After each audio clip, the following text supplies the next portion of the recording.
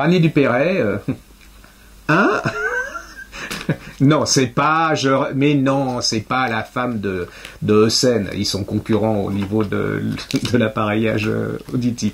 Euh, mais non, Annie Dupéret, écoutez, qui connaît pas Annie Dupéret, une famille formidable, la compagne de Giraudot pendant des années, une femme, voilà.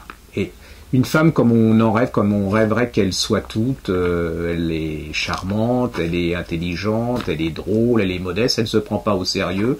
Elle écrit des bouquins en plus super bien. Elle a un défaut, je crois qu'elle aime les chats. Alors moi, je suis allergique, donc euh, voilà.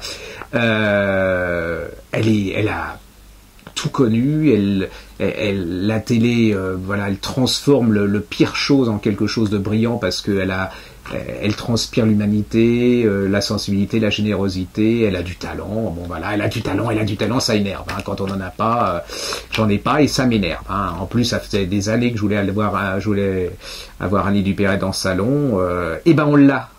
Voilà, donc je suis hyper content et puis oh, je suis sûr qu'elle va avoir plein plein plein de choses à nous raconter puis vous allez avoir plein plein de choses à lui parler parce que je sais que elle correspond beaucoup avec euh, ses lecteurs et que ses lecteurs l'adorent. Et puis euh, généralement c'est un signe hein, parce qu'il y a, y a, des écrivains on leur écrit pas beaucoup hein, donc euh, et elle voilà c'est une femme de qualité comme on aimerait qu'il y en ait beaucoup plus et qui est exactement dans le ton du salon